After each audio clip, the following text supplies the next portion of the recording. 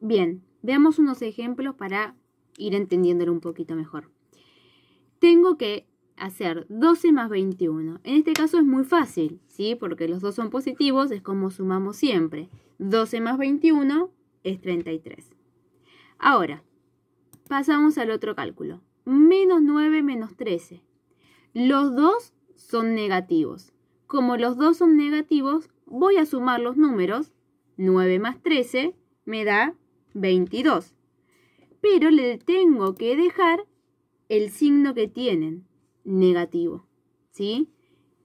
Como los dos son negativos, le dejo el mismo signo y sumo los números. Paso al otro ejemplo. 3 menos 20. Como tienen signos distintos, uno es positivo y el otro negativo, voy a restar los números. 20 menos 3. 20 menos 3 me da 17. Pero ahora me tengo que fijar qué signo le queda. ¿Qué signo le queda? El del número con mayor módulo. Entre 3 y menos 20, el más grande, el módulo, es el menos 20. ¿sí? Si no más fácil de acordarse, olvídense de los signos que tienen. Entre 3 y 20, el más grande es el 20. ¿Y qué signo tiene el 20? Un menos. Entonces el resultado va a ser negativo. ¿Qué pasa en el otro? 22 y 35. Ambos tienen distintos signos. ¿Qué tengo que hacer? Restar los números. 35 menos 22. El resultado es 13. ¿Qué signo le voy a dejar? Olvidémonos qué signos tienen ahora. Entre 22 y 35, el más grande es el 35. ¿Y qué signo tiene?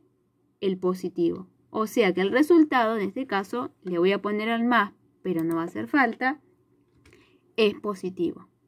Bien, resumo todo esto que dije. Cuando los dos son positivos, ya lo sabemos hacer, como siempre, sumo. Cuando los dos son negativos, suman los números y le dejan el signo, en este caso negativo. Cuando tienen distintos signos, van a restar los números que les doy, 20 menos 3, que es 17, y le dejan el número más grande. Entre 20 y 3, el más grande es el 20. ¿Y qué signo tiene? El menos.